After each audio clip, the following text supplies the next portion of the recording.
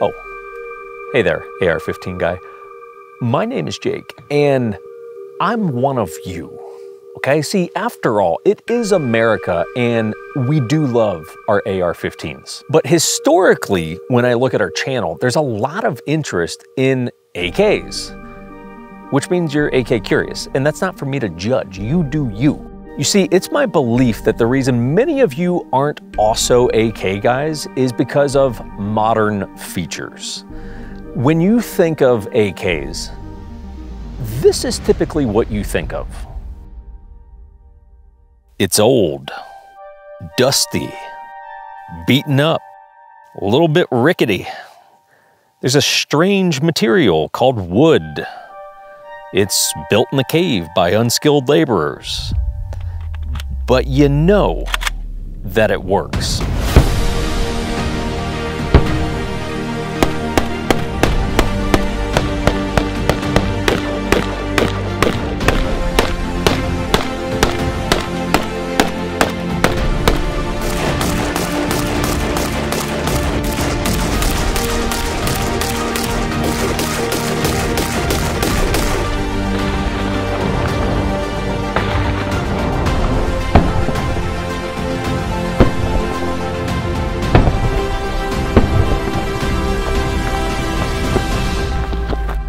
Friends, it's the year 2023, and the AK has evolved. This Rifle Dynamics build represents the modern day AK, and it's got all the bells and whistles that you, AR-15 guy, could ever need. So if you've ever been AK curious, there's never been a better time to get in the game.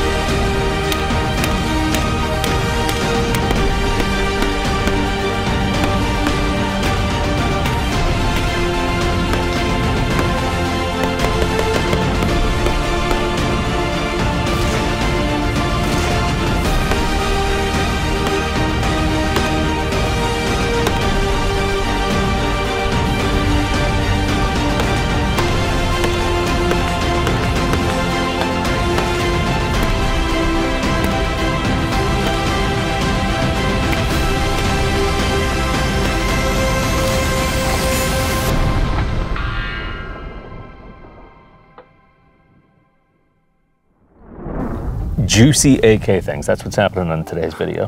Freaking juicy. That's not how I thought this was gonna open. Freaking juicy AK things, everyone. Let me tell you what's gonna happen on this video, y'all. Um, we're gonna talk about a few things. We're gonna talk about the, really the modernization of the AK. Okay. Right? Because I've kind of been down my theoretical rabbit hole of like, why aren't more guys in the AKs? And I think I know. I think I know. I think I know the answer. We're, we're going to break it down today. Okay? okay. So we're going to talk about the modernization of AKs, why more guys don't get into them.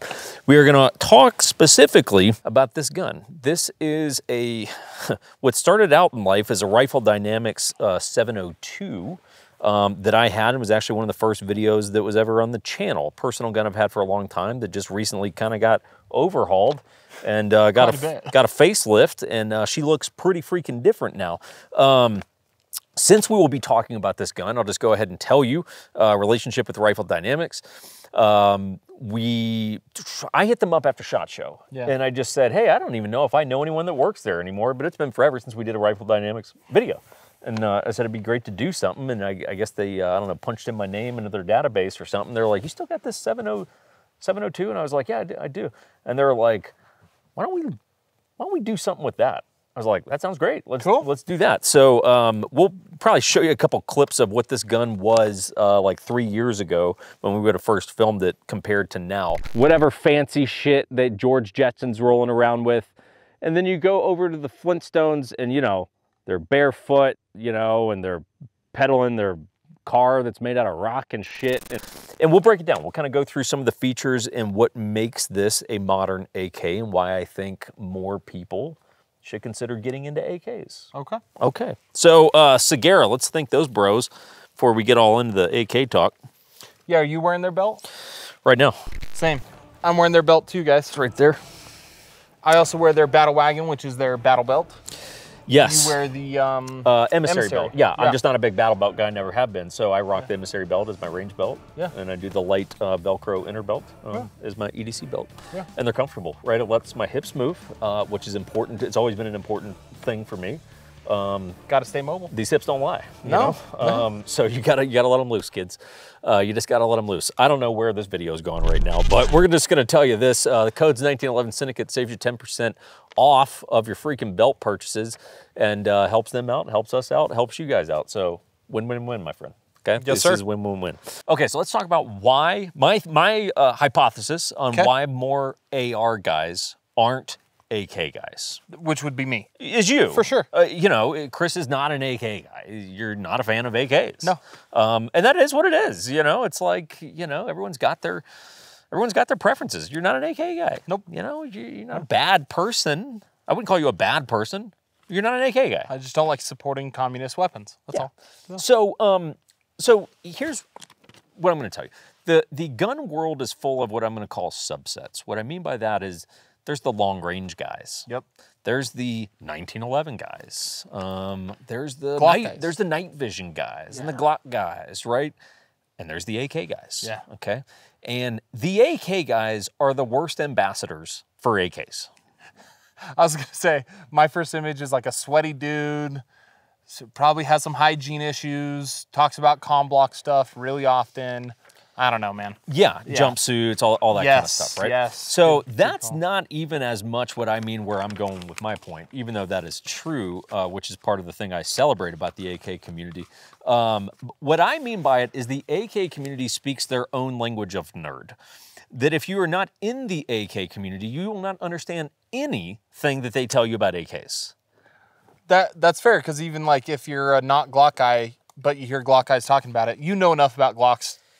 But AKs is its own little thing. At least a Glock's a Glock. Yeah. We go. We got AKMs. We got AK-47s, AK-74s. We got WASRs. We we've got M92s. We got Krinks. So you're like, hang on. So these are all AKs? Well, yeah. Yeah. We're like, but well, what's the what? what, what? You know, in, in AK guys, you guys screw your community over because you speak fluent Italian for someone that only speaks English, and we're just like, hang on, I'm not speaking the same. Can you put your language into some terms that I can understand? Because I would like to learn, but you're turning me off from it.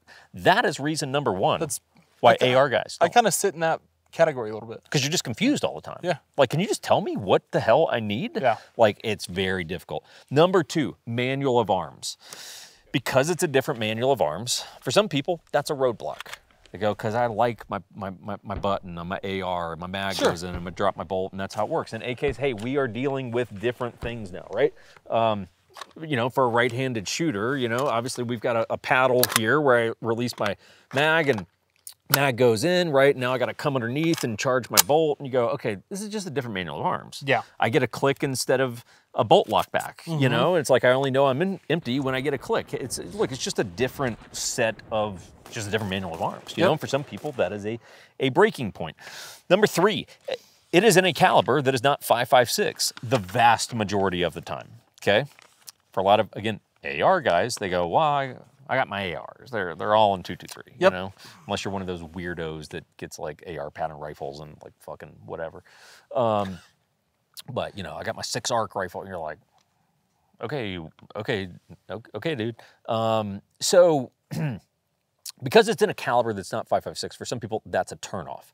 Even though 7.62 by 39, which is what this is, your traditional AK round, um, is widely available not hard to get. It's plentiful. It's not like there's an issue there. Um, it is different from 5.56. And my friend, I have breaking news. I don't think we ever broke news on this channel Oh, okay. before.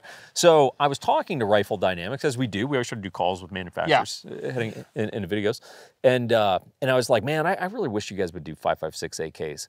And they were like, this summer. Oh, really? And I was like, can I say that? And they were like, sure. Okay. Breaking news, everyone. Five five six. AKs. RD's getting into 556 AKs. Uh, should be this summer. Don't quote me on a date, but it's like, hey, I would. That interests me. That very much interests me. Yeah. Because now, look, I, oh, dude, think about what I just solved here. Now I've got an AK, ultra reliable weapon. um, that now is running the round that I'm used to running. So the only weird barrier to entry for AR guys now is magazines. Like that's that's it. Yeah. It's like okay, cool. I can't run AR mags. I get 556 AK mags, no big deal. But it's just like, dude, that's a that's a big win. I'm very excited about the Rifle Dynamics 556 um, AKs. Sure, that, that sure. that's a win. And then the last reason I believe AR guys don't get into AKs is lack of modern features, right? Because as kind of alluded to by the intro, when you think of AKs, for so many of you, this is what you're thinking of. You're going, yeah, man, there, it's just this old kind of beaten up thing and it's not refined and it, it punches me in the face and shoulder like a mule when you shoot it, which this gun most certainly does. Um, you know, it's just, it's not an enjoyable thing. Man, I got, I got lasers, I got optics, I got lights, man. I got, I got, I got all my shit I got to put on my gun. I can't do that on that. You know? Agreed. You know what I'm saying? I do. I do. Like- this is again another key point of why I'm not an AK guy. Well, my friend, we are going to break it down. Um, before we get into the breakdown of this gun, a couple ways you guys can support the channels. Uh, one with real estate, where uh, the 1911 Syndicate, you can just go to 1911syndicate.com. It's linked down below, but it is a uh, nationwide real estate company. Yep. Chris is in Arizona. I'm in Utah, but we got agents all over the country, so you can reach out to us via the site. We'll get in touch with you. We'll, we'll see if we can help you out.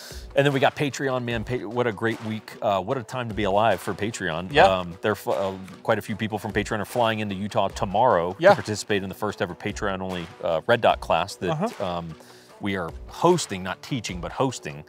Um, it's gonna be great. We're gonna be doing whiskey tastings at night and um, Barbecue. My pops is flying in. yeah, I'm gonna try to get get him to maybe have a drink. Hey, Dwayne, uh, have a drink. He ain't you drinking. know. I'm, gonna do my, I'm gonna do my best. Though. But um, you know, we're gonna have a great time. So check out Patreon. We'll link that below. A lot of cool stuff that happens there.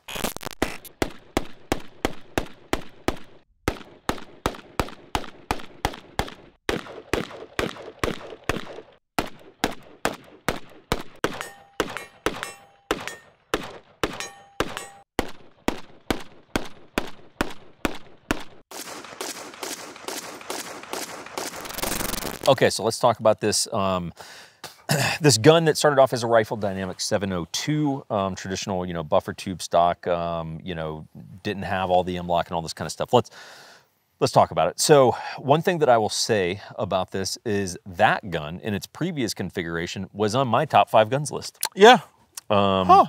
you know, we're doing that series now. We've done it with Jim's Goon Life, Mike Pappas, got a couple other guests coming up. And when we did our list originally, I was like, look, man, this this is one of my guns. It's Yeah. super reliable. Um, you know, like I mean, for a variety of factors, that was in my top five guns list. Um, and this is just way cooler and way better now. Way right? cooler. So it's even better these days. Let's talk about it. That gun was dated, which is kind of how this video came about. It was like, man, great gun. It's little, I think it could be a little modernized. So the first thing that happened here was the rear trunnion. Okay, this is where again we lose AR guys because Yeah. you start with like, what what the hell are you talking about with this rear trunnion? So we're talking about this little bracket, if you will, back here, right? That's on the receiver and. Essentially, hey, the rear trunnion was swapped from instead of being a buffer tube with a B5 stock on it, now we've got a 1913 pick rail section. Yeah. Well, that opens me up to all kinds of fun toys. Uh-huh. Because now I could run basically any of the like SIG MCX compatible style stocks. Yeah. Right. So I could run a SIG, uh, you know, Spear LT stock Yeah. on this. Um, There's a bunch of good ones out there. I went with this one from Midwest Industries. This is their Alpha stock. Um, let me just make sure I got that right. But yeah, it's their Alpha stock. Um, there's a company called Zenitco, and Zenitco's a Russian company Yeah. And they make a stock that essentially is this is the clone of the Zenitco stock. Oh, I've seen it in like um, what's their special operations dudes? Spetsnaz. yeah, and, and Spetsnaz like promos when Vickers was over there. Okay. Yeah. Okay. So it's a very famous stock. The problem is, my friend, it is Russian, and they are being like literally impounded and like burned at the docks right now. Well, I think that Ukraine and Russia are in a war, right? So yeah, There's a conflict. there's a issue. Um, and uh, so literally, like you can't get those stocks right now. Like they're they're they're like literally being seized at the port, to my understanding, and the ones that are out there selling for like a grand. I can't I can't pay you a grand for a, a Zenitco stock. I, I, I just I, I have a, a limit on that. So this is one from Midwest Industries. It's their Alpha stock. It's basically a clone um, of that, and I have to tell you, I've been quite um, enjoying this yeah. because it's extremely modular. I mean, I guess Sure. about the only complaint, even though it hasn't been an issue, but you could argue, hey, because there are more adjustment points, well, those are all threads and screws where you go, hey, that is a, those are more failure points for something to be able to back out. That said, none of that has happened. Throw a little Loctite in there. And I did. I yeah. put some thread locker on, which um, Midwest sends with the stocks. Okay, well. so it's like cool. I just dab the screws in, throw it, throw it We're in good kind of shit, and we're good. Um, and these are side folders too. So hey, I can Nice little si- bag. side fold the stock, and because of course AK is not running on a buffer tube, you know I could dump the whole mag without the stock ever being you know Sure. flipped, um, right? Or I could just take the damn thing off and just run it straight up old school. This doesn't lock where there's a button you have to push. It's just it's just a flip. I'm okay with that. Oh, it's how I prefer. I don't want to have to push a button to get my stock out if I needed to. Um, but I've really been enjoying this. I've got it on another gun right now that will be coming up on the channel in about a month from when you guys see this. Uh, this mod uh, with the 1913 rail was a collab that Rifle Dynamics did with a company called Occam Defense. Uh-huh. Um, they're an AK builder up in Idaho that uh, you weren't here for that video, but I did a solo video Yeah. on the Occam AK. And they make some really good components and things that are um, pretty innovative, actually. Cool. Brian, the dude, there's a like a fucking aerospace engineer. He's Um, good friends with Jeff. Yeah, I can't literally understand anything that he says. I've talked to him a few times, and I'm like, bro, I'm way dumber than you think I am. like, I, you got to be way more dumb w- w- when you talk to me. So um, that's first thing we did was swapping out the stock, getting the rear trunnion swapped out. Next thing, trigger. We swapped out the G2, like the traditional AK trigger. The one that's in here now is uh, it's on the Rifle Dynamics site. They call it the LBE Unlimited G3 trigger. Okay. Okay. Um, so it is kind of a flat face style trigger, more or less. Some people, when they start modding out AKs, they put a trigger from a company called ALG.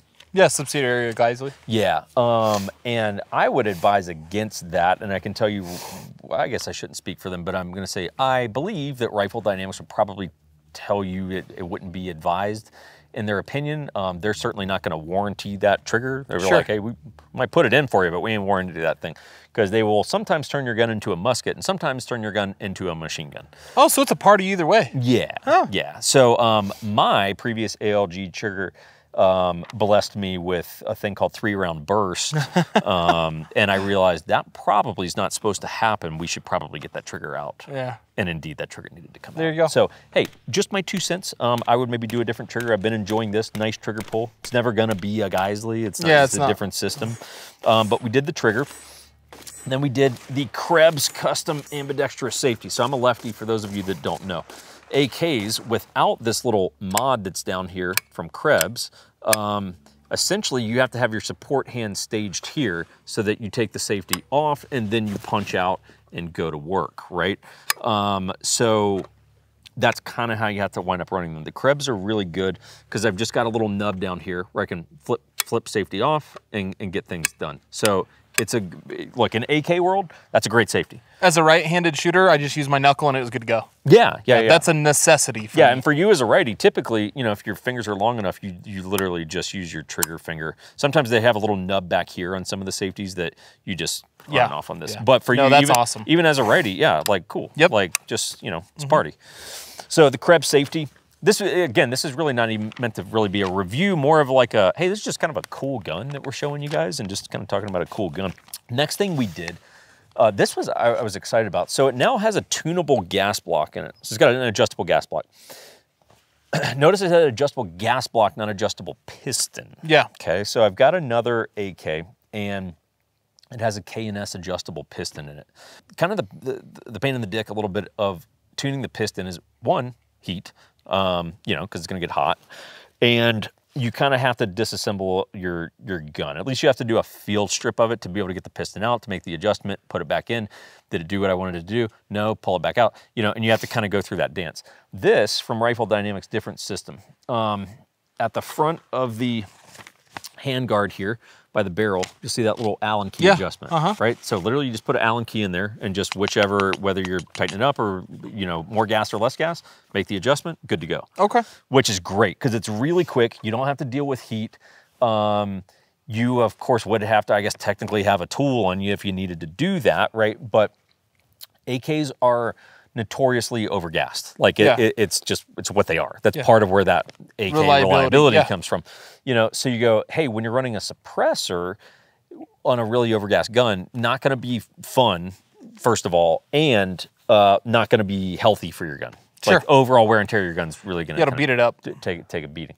So um, I've run this suppressed some. Uh, I've tuned it for suppressed today. When we shot it suppressed, I left it in the unsuppressed setting because we were only running like a mag or, or two through it suppressed. I was like, ah, it'll be fine. So if it looks like, hey, you're gonna probably over gas suppressed, yeah, it was because we didn't do the adjustment for Yeah. we shot it suppressed today. It just wasn't worth the juice wasn't worth the squeeze. But um, really nice. That tunable gas block I've, I've actually been a big fan of. And because I mean, you can get this thing tuned exactly where you want it, which is nice. Yeah. it's nice. Uh, I'm really glad they're doing that. Um, next, the SLR Rifle Works and uh, Rifle Dynamics collaboration handguard and uh, this portion of the top rail here. So this very nice upgrade and one of the things that I believe from an AR guy conversion perspective Yep. starts to make AKs a lot more appealing Majorly. because on a, either a wood handguard or just a polymer one, which is what this used to have, it, it had basically an UltiMAK rail here, Yep. which is just the top rail, but all this was polymer. One, this gets super hot. The UltiMAK rails get super, super hot, um, which if you're running an optic on it, a lot of heat on an optic that's very, very close to that rail. I've never killed an optic doing that. I've never actually had an issue, but I'm just saying, hey, you have an optic that is very, very close to this rail that's Sure. accumulating a lot of heat. Sure. You know, a shitty optic may or may not get through that.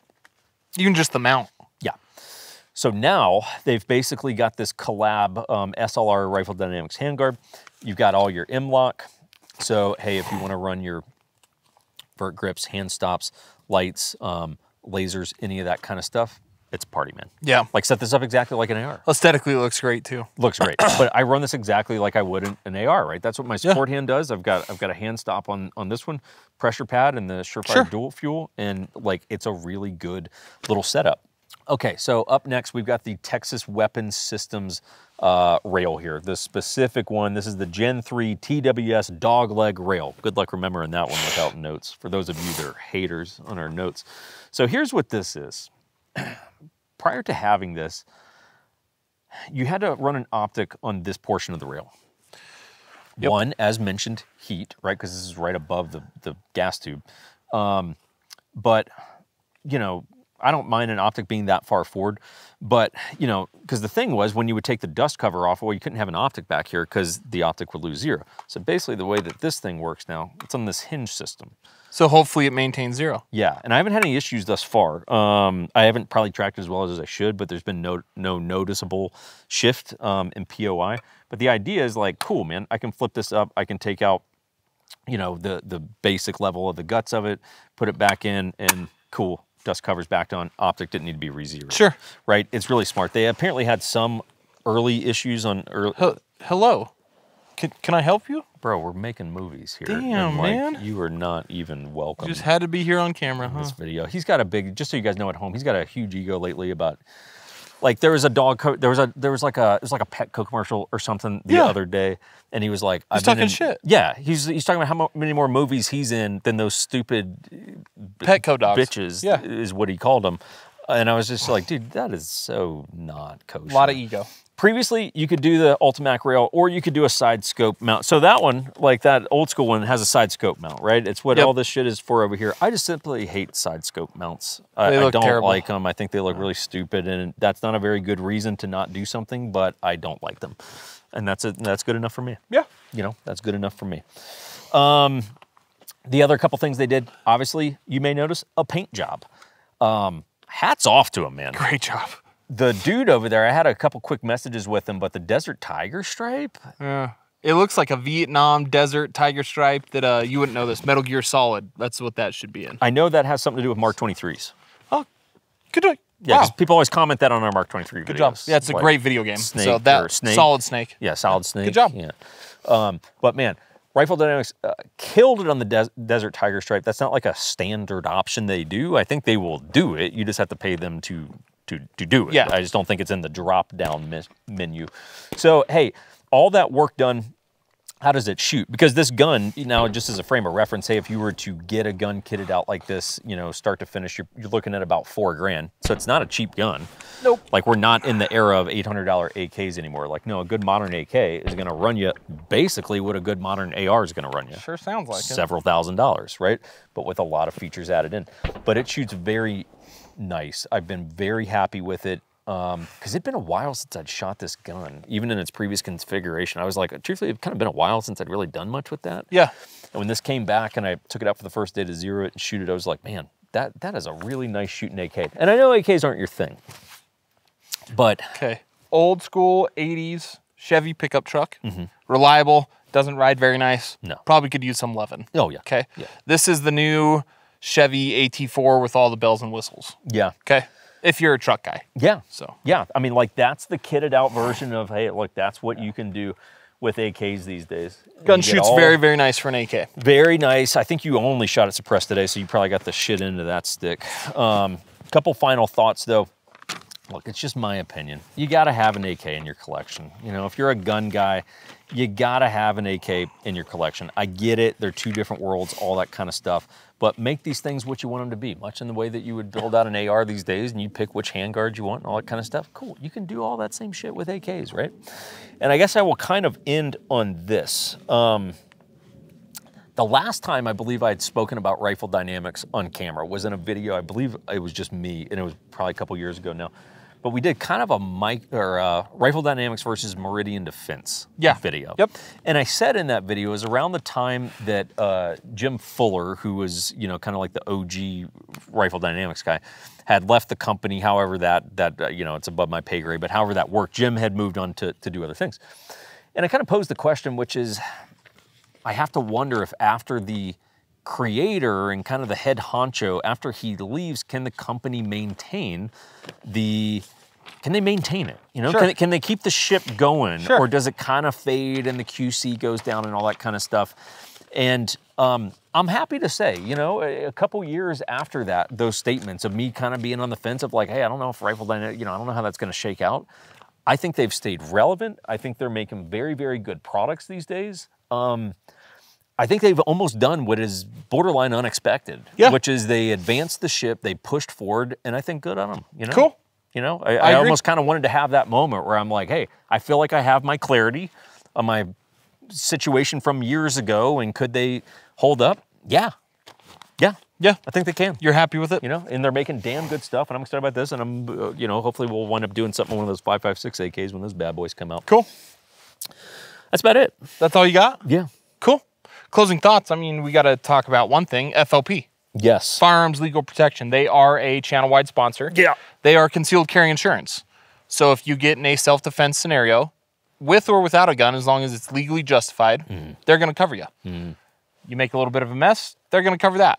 They also cover up um, your attorney's fees. They can also, uh, wait, wait before you say anything.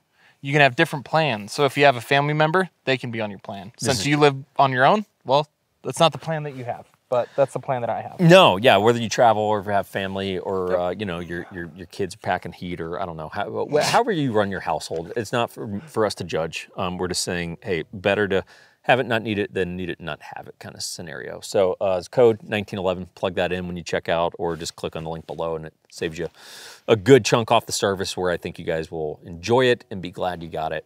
Yep. That's it, man. That's all we got time. today. Yep. All right, guys. Thanks again.